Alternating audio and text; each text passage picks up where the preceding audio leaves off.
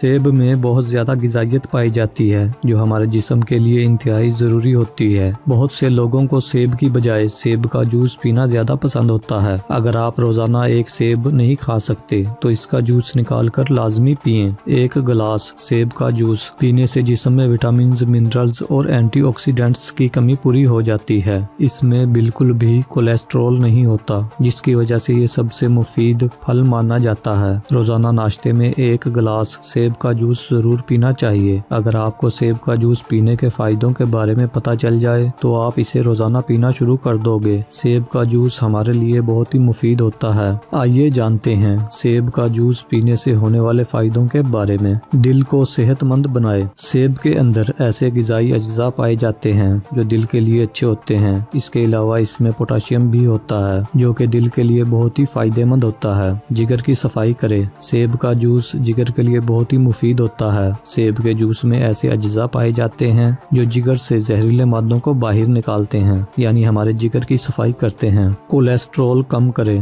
जिसम में bad cholesterol बढ़ जाने की वजह से दिल की बीमारियाँ पैदा होती हैं। सेब के जूस को पीकर हम कोलेस्ट्रोल जैसी खतरनाक बीमारी से बच सकते हैं। सेब का जूस हमारे जिसम में बैड कोलेस्ट्रोल की मकदार को कम करके गुड कोलेस्ट्रोल की मकदार को बढ़ाता है, जिसकी वजह से हम दिल की बीमारियों से भी बचे रहते हैं। दमा से बचाए। सेब में फ्लेवोनाइड होता है, जो कि दमा से बचाता है, जो कि दमा से बचाव करता है। ये फेफड़ों को मज़बूत बनाता है और फेफड़ों को सही तरीके से काम करने में मदद करता है। हड्डियों को मज़बूत बनाए। सेब के जूस में विटामिन सी, आयरन और बोरून वगैरह होते हैं, जो एक साथ मिलकर हड्डियाँ मज़बूत बनाते हैं। कुत मुदाफियत को बढ़ाए। सेब के जूस में ढेर सारा विटामिन सी होता है, जो कुत मुदाफियत को मज़बूत बनाता है। साथ ही जिसम को बैक्टीरिया और जरासीम से लड़ने में मदद करता है। कैंसर से बचाए। सेब का जूस हमें ट्यूमर और कैंसर से बचाता है, जिसमें खास तौर पर सेब हमें फेफड़ों और जिगर के कैंसर से बचाता है। कब्ज से बचाए। सेब का जूस रोज़ाना पीने से भी कब्ज